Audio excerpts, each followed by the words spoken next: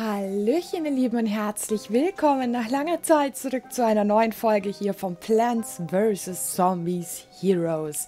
Ja, mein Leben spielt mir so manche Streiche und in den letzten Tagen und auch Wochen sind leider ein paar Dinge passiert, die mich sehr zu Boden gerissen haben und mir ziemlich heftig einen reingedrückt haben und dementsprechend ich halt einfach bei bestem Willen nicht aufnehmen konnte. Und ähm, jetzt hoffe ich, geht es endlich bergauf. Es gibt gute Anzeichen, die mir zeigen, dass sich mein Leben ein bisschen in bessere Bahn leitet. Und dann sollten hoffentlich bald auch wieder pünktlich jeden Tag die drei Videos, die normalerweise manchmal auch vier äh, kommen, sollten kommen. Genau. So, es gab in der Zwischenzeit ein Update. Ihr habt es mir auch ähm, gesagt, ihr habt es mir geschrieben in den Kommentaren, als ich letztens auch einen Livestream gemacht habe. Habt ihr mir es da gesagt? Also Habt ihr mitbekommen, dass es ein Update gibt? Und hier steht auch schon Post. Willkommen beim April, April, beim April-Update. Neues Feature, Tagesherausforderungen. Jeden Tag erwartet dich eine neue, handgemachte Schlacht mit coolen Wendungen. Manchmal findest du besondere Karten auf dem Spielfeld oder auf deiner Hand. Manchmal musst du in deinem Zug ein vertragtes Rätsel lösen. Verdiene fette Belohnungen. Für jede bestandene Tagesbelohnung, äh, äh, Tagesherausforderung erhältst du ein hübsches Bündel Event-Tickets. Gewinne drei Tagesherausforderungen in einer Woche und du erhältst einen besonderen Bonus. Schaffst du fünf oder sogar alle sieben Tagesherausforderungen einer Woche, winken sogar noch stärkere Belohnungen. Probiere Helden- und Strategiedecks aus. Für die Tagesherausforderung erhältst du oft ein mächtiges, maximal wirksames Strategiedeck mit allen 40 Karten. Das ist deine Chance herauszufinden, welche Helden- und Strategiedecks dir am besten liegen und diese zu deiner eigenen Sammlung hinzuzufügen.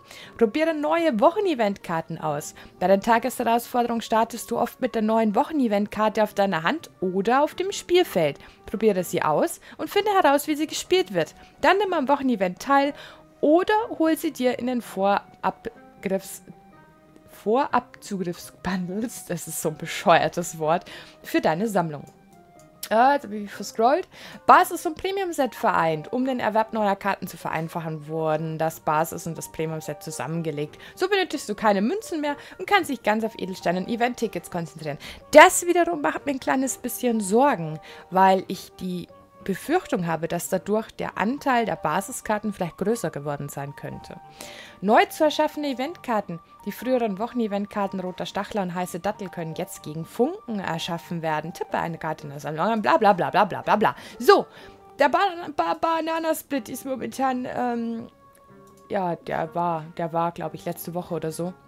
Jedenfalls diese Woche gibt es hier den da, den Zombie-Turmspringer. Aufdecken auf Anhöhen, verschiebe diese Karte ins Wasser und sie erhält plus 1. Das ist aber nur, wenn man sie auf Anhöhen setzt. Und hier können wir schon sehen, Tagesherausforderung, meisterlicher Montag. Ähm, und hier sieht man, ähm, wie viel man machen kann. Ich habe das Problem, ich habe leider einen Tag ausgelassen. Das heißt, ich werde die Belohnung für sieben Siege leider nicht mehr bekommen. Aber die heutige Belohnung können wir uns auf alle Fälle noch holen. Ähm, Im Endeffekt ist es so, ihr bekommt immer 100 von diesen Event-Tickets pro geschaffte Challenge. Jeden Tag gibt es eine neue Challenge. Wenn ihr die ersten drei Siege habt, kriegt ihr noch 200 drauf. Wenn ihr sogar fünf Siege geschafft habt in der Woche, kriegt ihr 300 noch zusätzlich obendrauf. Ähm, das heißt, wir wären dann da schon bei 1000, Kart äh, bei 1000 Event-Tickets. Und wenn er alle sieben in der Woche schafft, kriegt er zusätzlich noch ein Päckchen mit drauf. Ähm, der Vorteil daran ist, 1200 kostet jetzt zum Beispiel diese hier und das wäre halt genau perfekt. Wir haben hier 1000, dann hätten wir da nochmal 100 und nochmal 100, dann wären wir genau bei 1200 Event-Tickets, in denen ihr einfach nur einmal am Tag euch einloggt und dieses eine, äh, diese eine Herausforderung schafft. Dadurch geht es um einiges schneller. Ähm, ja, das könnte man natürlich machen. So, Hirnfrost hat sich mit der neuen Eventkarte Zombie Turmspringer zusammengeschlossen, nämlich also vor Attacken aus dem Wasser in 8. Okay, wir kriegen dafür ein vorgefertigtes Deck. Dann schauen wir mal. Das ist eben die Tagesherausforderung vom Montag. Genau. Und dann kommen halt jetzt in den acht Stunden, fängt es dann wieder von vorne an. Hirnfrost hat sich mit der neuen Eventkarte Zombie-Turmspringer zusammengeschlossen, nämlich also vor Attacken aus dem Wasser. Ach ja, das hat er ja schon erzählt. So, mit was kann man starten? Das ist ein bisschen teuer für einen Start. Die ist ganz nice, aber auch ein bisschen teuer. Ja, hm. Ist nicht der schönste Start, aber mal gucken mal. Ich kenne das Deck nicht, mit dem wir hier spielen müssen. Ich habe mir die Event-Decks auch teilweise gar nicht so krass angeschaut. Aber wir setzen einfach schon mal ein Nüsschen. Damit wir wenigstens irgendwas auf der Karte haben. Okay. Ja, jetzt kriegen wir wieder den Dummschrumm. Pflanzen spielen. Ja. Was machen wir denn? Machen wir noch einen? Ein Phoebus teamfähig? Ja, machen wir aber. Wenn da Wasser, aufs Wasser eventuell eine Pflanze kommt, glaube ich, sind wir ganz froh, wenn wir da schon mal was sitzen haben. Interessant, dass er so, äh, bis jetzt noch nichts ausgespielt hat.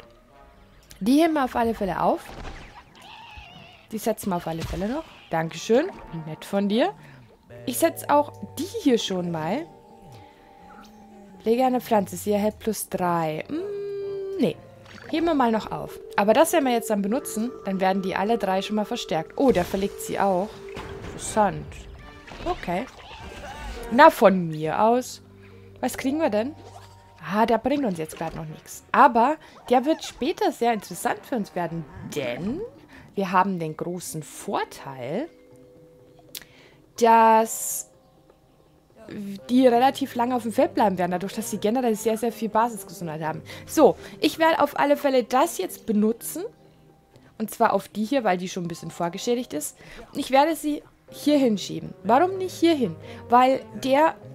Ich krieg so oder so vier Schaden. Die kann ich in der nächsten Runde ausmerzen, die vier Schaden. Die hier nicht. Da, wenn ich meine, weil der verliert sich sowieso und wird dann zu einem Plus 1er, wenn ich da was hinsetze. So, jetzt spielen wir die schon mal aus, damit wir den da überhaupt endlich mal töten können und damit der erste Schaden kommt. So, zufällig Pflanze wird zurückspielen. Jetzt bin ich mal gespannt. Oh, es war so klar. Es war halt so klar. Es war halt so klar. Na, aber immerhin ja, das ist... Oh, das ist natürlich auch schön. Alle Pflanzen in Ableger verwandeln ist auch eine schöne Sache. Ich... Dann haben wir da aber da nicht mehr den Achterbonus. Heißt, die hätten alle nur noch drei Leben. Aber wir würden jede Menge Schaden auf die Lane bringen. Also mache ich das mal.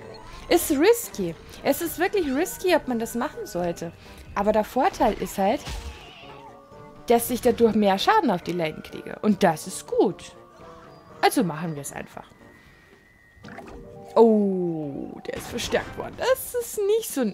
Guck mal, wir haben kaum mehr Leben. Was ist da passiert? Wann haben wir so viel Leben verloren? What the fuck? Okay. Jetzt müssen wir aufpassen. Jetzt müssen wir tierisch aufpassen, was wir machen. Okay. Pflanzen das da pflanzen das da. Und hoffen mal ganz stark, dass wir, dass der keine allzu großen Tricks mehr hat. Sonst haben wir ein Problem. Okay, schiebe diese Karten ins Wasser. Da hat er sich jetzt natürlich selber äh, ein Bein gestellt, dass er den von Haus aus auf eine Anhöhe gestellt hat. Weil dadurch hat er nämlich jetzt das Problem, dass er den Effekt davon nicht auslösen konnte. Und ja nicht in die Wasserlane verschoben wurde und auch den Bonus nicht gekriegt hat. Das ist natürlich jetzt blöd, ne? So, was machen wir? Wie wahrscheinlich ist, dass auf der Lane noch was kommt? Er hat noch fünf über. Dann... Na warte, es ist ja gar nichts mit vier. Oh, ich bin so dumm. Die macht ja mit vier oder... Ich bin dumm. Ich bin so dumm. Ich bin... Jetzt haben wir verloren. Jetzt haben wir... Oh Gott, wie kann ich nur? Nein, ich bin dämlich. Damit habe ich es mir jetzt verspielt. Damit habe ich es mir jetzt verspielt. Das war jetzt dämlich. Das war richtig dämlich. Na, kriegen wir 10 Diamanten, wunderbar. So, jetzt haben wir diese Herausforderung nicht geschafft. Selbstverständlich habe ich nur deswegen verloren, um euch zu zeigen, was passiert, wenn man sie nicht schafft. Man kann sich eine Werbung anschauen. Yay! Wenn man sich diese Werbung angeschaut hat, wir machen mal den Ton leiser. Oh, das Game kommt fürs Handy? Äh, ist ein anderes Spiel. Ja, man kann sich halt jetzt eine Werbung anschauen. Ich habe da jetzt leise gemacht, damit das nicht so laut im Hintergrund runterrödelt. Und wenn man sich diese Werbung angeschaut hat, dann äh, kann man es nochmal versuchen. Oh, Cats heißt das. Das hat mich kurz an ein anderes Game erinnert, deswegen. Okay, machen wir das weg. Machen wir wieder lauter. Und dann machen wir es nochmal. Und jetzt gewinnen wir. Ja, jetzt gewinnen wir. Das war dumm gespielt von mir. Hab das Spiel so lange nicht mehr wirklich aktiv gespielt. Nein, das ist natürlich keine Ausrede. Okay. Erschaffe eine Walnuss mit sechs Gesundheit auf jeder Bodenreihe. Und sechster Angriff. Ich behalte die Karte jetzt mal. Ich behalte mal alle Karten. Der Start gefällt mir ehrlich gesagt sogar besser. So. Okay. Auf ein neues. Kämpfe! Der hat schon wieder nichts. Okay. Das tut mir jetzt aber leid. Oh, ein Bömmchen. Ein Bömmchen ist auch was Schönes. Hallo. Ach, der verlegt sich natürlich eine zufällige Reihe, wenn hier irgendwas gespielt wird. Bla, bla, bla. Dann machen wir ihn kaputt. So einfach ist das. Ist ja kein Problem. Da haben wir Chicken Wings draus gemacht. Okay. Das ist doch schon mal angenehmer. Ja, was kommt jetzt? Mit Doppelschlag. Also ich kann jetzt sagen, okay, ich verstärke die beiden von Anfang an jetzt einfach, weil ich es kann. Oder ich pflanze ein Bömmchen hin. Ich glaube, ich pflanze das Bömmchen. Ich hebe mir die Verstärkung noch auf. Wer weiß, ob ich die nicht nochmal brauchen kann. Äh, okay, okay, okay. Ich hätte verstärken sollen. Ja. Ach, Kacke. Dann wäre ja jetzt weg gewesen. Okay. Ich muss jetzt verstärken. Ich weiß nicht, was da drunter ist. Wahrscheinlich ist es die Eventkarte. Ich weiß nicht, was da, was, was da drunter ist und den kriege ich nicht weg, wenn ich nicht jetzt die Verstärkung ausspiele. So. Ja, es ist die Eventkarte. Also wir haben jetzt sieben Schaden, die wir jetzt bekommen. Außer ich habe Glück und äh, das Blockmeter äh, spielt für uns mit. Ja, komm, komm, gib mir einen Dreierblock. Gib mir einen Dreier. Na, na, das läuft nicht so gut für uns. Du bist nicht amphibisch, ne? Ja.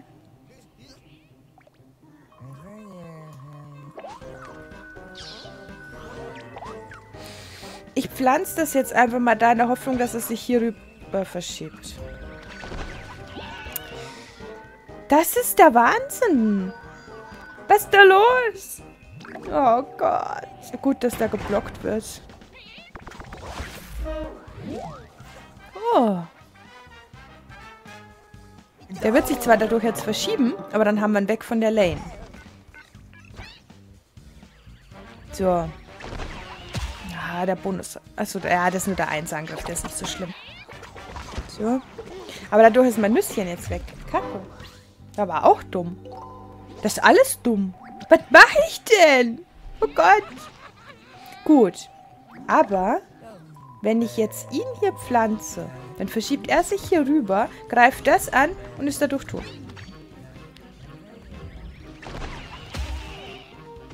Genau. Das hat schon mal funktioniert. Jetzt gibt er ihm die Verstärkung. Pass auf. Ja. Es läuft nicht gut. Ich hätte davor das anders spielen sollen. Das hat mir schon wieder das Game gekostet. Ich meine, wir können jetzt noch gucken, ob wir irgendwie die 10 Schaden zusammenbekommen. Ja, jetzt pass mal auf. Ja, hi. Ich pflanze den da, um den aufzuhalten. Nein, das geht sich ja gar nicht auf. Oh Gott, ich bin so dumm. Oh, wisst ihr was? Ich dachte jetzt, ich hätte dann noch zwei Sonnen. Ach komm, wir machen einfach nochmal. Einfach nochmal. Das kriegen wir jetzt nochmal hin. Komm. Machen wir kurz nochmal leiser wegen Werbung und Co. Wir kriegen das jetzt hin. Das kriegen wir jetzt hin. So, Werbung angucken. Was kriegen wir denn für eine Werbung? Magic Puzzle Quest Reward. Aha. Okay. Wenn man kombiniert, um dann da oben irgendwelche Viecher wegzuschnetzeln. Oder so ähnlich. Okay. Solche Games finde ich tatsächlich unterhaltsam. Ich finde die tatsächlich gar nicht mal so schlecht. Ich finde, diese Games können tatsächlich echt Spaß machen. Nur die meisten sind halt nicht so gut umgesetzt. Es gibt da wirklich teilweise echt gute Ableger in dem Bereich. Aber dann zwischendurch hast du wieder welche, die einfach richtig schlecht sind. Oh, laut. Laut! Laut! Okay. So, Komm, jetzt, jetzt, jetzt metzeln wir den weg. Komm. Und jetzt stelle ich mich klüger an. Oh, interessanter Start. Hm, ich lasse das. Ich nehme den auch mit, weil wenn wir die beiden hier setzen, die beiden, dann hat der da schon mal einen Vorteil. Ja, setzen wir schon mal. Das war ja, genau, Gesundheit für jede, für jeden Pflanze und zum Nervenfeld. Ja, genau, geh doch nach Hause. Geh doch nach Hause. Naja, dann ist das schon mal weg. Birnenbody. Wow, ernsthaft? Lass mich doch verarschen. So.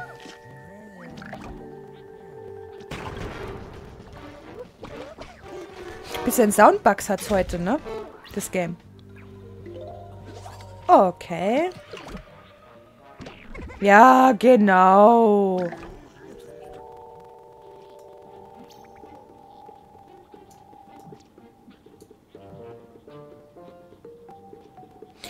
Ich lasse es so.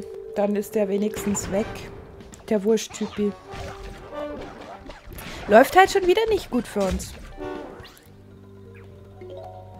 Okay. Das ist ein Anfang. Bringt mir aber nichts. Also, weil... Ne? Ah! Ja, wir spielen hier mal die Birnenbuddies aus. Dann ist der wenigstens schon mal weg und ja. Hat er einen Trick? Nein. Gut. Einer der Birnenbuddies muss leider dran glauben. Oh, Mann. So. Nochmal so einen tödlichen. Du willst mich da echt verarschen. Ich kann den schon mal setzen. Ich kann das schon mal setzen. Dann kriegen wir den schon mal weg. Ja, es ist nicht die geil... Nicht, warum spielt er den auf... Ach so, weil er nicht in die Wasserlane versetzt werden kann. Haha. So, aber der ist jetzt schon mal weg. Das heißt, wir müssen uns nur noch um den kümmern. Wow! Wow. Das ist jetzt interessant, dass er nichts macht. Ich mache das jetzt absichtlich, dass ich den jetzt schon ausspiele, aber ich muss den Wicht loswerden. Ich weiß nämlich nicht, wie viele Wichte der mir noch entgegenwirft. Jetzt kriegt er auch noch Raserei. Ich glaube, ich spinne. Das ist so, so plus sieben. Der hat sieben Angriff. Was soll das denn? Drei Schaden. Ja, mach mal schon mal. Bringt mir noch nicht so viel. Ich meine, er hat sieben. Was ist das denn? Okay. Genau.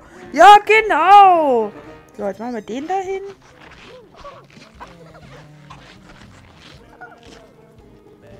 Machen wir den da hin. Machen wir den da hin. Ich muss die zwei Schaden von ihm jetzt annehmen, weil der immer noch tödlich hat. Wie viel gibt... Jetzt kriegt er nochmal eine Verstärkung. Plus äh, äh, als nur eins gepanzert. Sonst hätte ich überlegt, ob ich den doch da hätte hinsetzen können. Das ist doch... Das ist doch nicht normal. Was ist denn... Okay. Also, wir stellen fest, ich habe heute kein Glück. Ich habe heute kein Glück. Jetzt haben wir drei Runden versucht und jedes Mal wieder gefailt. Das heißt, ich werde jetzt einfach offscreen versuchen, den irgendwie noch zu besiegen und ich hoffe, dass ich es schaffe. Drückt mir die Daumen. Ich bedanke mich auf alle Fälle fürs Zusehen und sage Tschüss. Bis zum nächsten Mal.